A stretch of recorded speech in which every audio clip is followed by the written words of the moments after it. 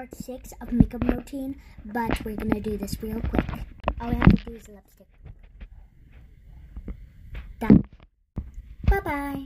And part four of singing is coming soon, so you better watch that. Like and subscribe.